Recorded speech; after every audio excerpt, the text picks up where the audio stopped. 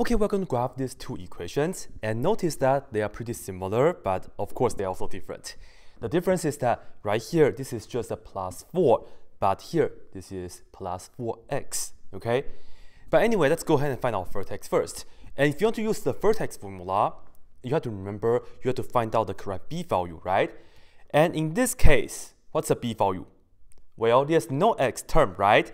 Because you see this is negative x squared plus 0x and then plus 4. So in this case, the a is negative 1 and the b is actually 0. This is the c value, okay? In comparison to this, this right here is a b value and we will have a being negative 1, right? Negative 1. And the b is a number in front of the x, which is the 4, okay? But now let's just use the formula. You see, we have to find x is equal to negative b over 2a. And let me just write this down for you guys. And in fact, you have a quick way to do it. Whenever the b is 0, the whole thing is 0. So yeah, right? But I will still show you guys the work. Negative 0 over 2 times negative 1, like this, and you still get 0. And let's just focus on this real quick. When you have x is equal to 0, that's the vertex, right? So you're just going to go ahead and make a quick table. You are going to get some x values, and you have y is equal to negative x squared plus 4, and let's put down 5 points. Always put on this number right in the middle, and then pick its neighbor numbers. So in this case, we will use negative 1 and 1, and then negative 2 and 2. And now, if you plug in 0 into this x, you get negative 0 squared plus 4, right? This is plus 4 right here. Uh, hopefully you guys can see. I know there's a little glare, but yeah. anyway, I'll write this down for you guys. y equal to negative 0 squared plus 4, and you get 4 for that, okay? And then you just do the same for the rest. When you plug in y is equal to 1 to, when you plug in x is equal to 1 to here, y is equal to negative 1 squared plus 4.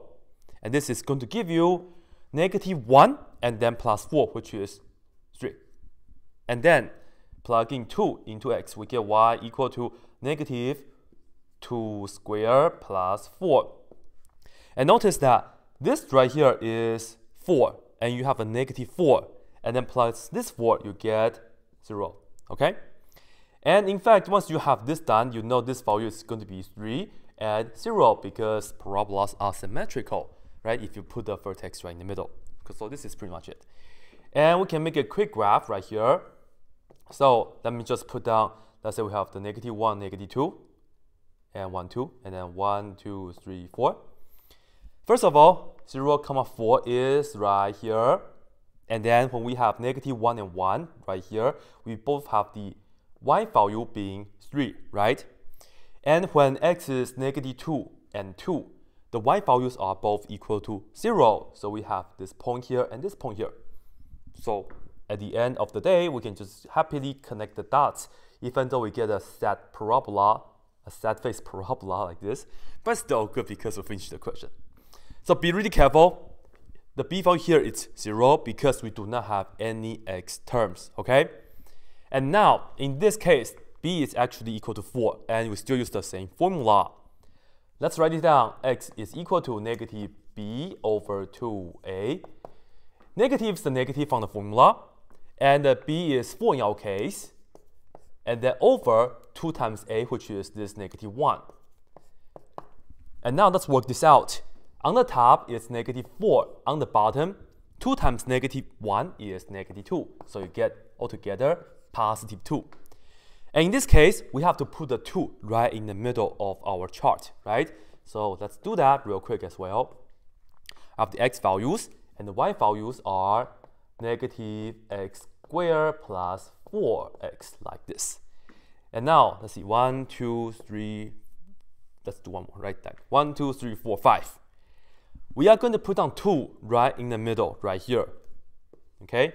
And this is going to get us the vertex of this parabola.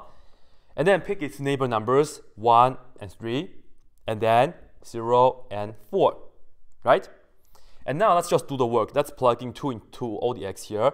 We know y will be negative 2 squared like this, and then plus 4 times 2.